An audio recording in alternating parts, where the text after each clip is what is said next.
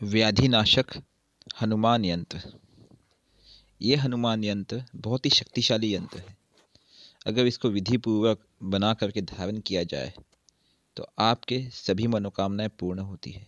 तंत्र बाधा का नाश होता है, शत्रु बाधा का नाश होता है, ग्रह पीड़ा का नाश होता है, भूत प्रेत का नाश होता है, और घर में धन धान्य की वृद्धि होती है। सब मंगल ही मंगल होता है। आप देखेंगे इस यंत्र में ओम हरि मरकट मरकटाय ओम स्वाहा। साथ ही हनुमान जी के बीज मंत्र है और ये तीन मंत्रों से बना हुआ है। आपको करना ये है, इस यंत्र को किसी भी ग्रहण काल में बनाना है। ग्रहण काल में आप इसे बना करके ओम हरि मरकट मरकटाय नमः का कम से कम दस माला जप करना है। या तो आप ओम श्री हनुमते नमः का भी जप कर सकते हैं। दस माला जप होना चाहिए। उसके पश्चात आप इस यंत्र को भुजा में बाँध लें या किसी व्यक्ति के लिए बना रहे हैं आप। तब आप संकल्प लेके बनाए, उस व्यक्ति के लिए बना रहे हैं। साथ ही साथ ध्यान रखें, इस यंत्र को बनाने के पहले का नियम।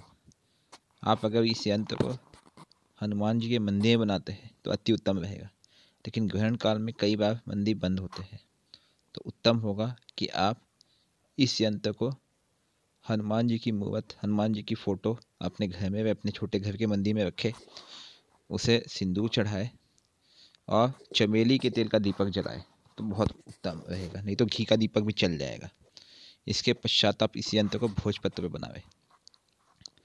जब होने के बाद, पूरे विधान के बाद जब यंत्र में शक्ति हो भर उठेगी, तब आप यंत्र को ताबीज में भर करके अगर जेंट्स है तो दाई भुजा में और लेडीज़ है तो बाई भुजा में बाँध लेवे।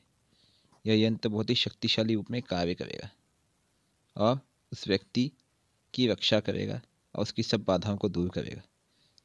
हर बाधाओं को दूर करने वाला और मनोकामना पूर्ति करने वाला यह हनुमत यंत्र है। ओम श्री हनुमते नमः।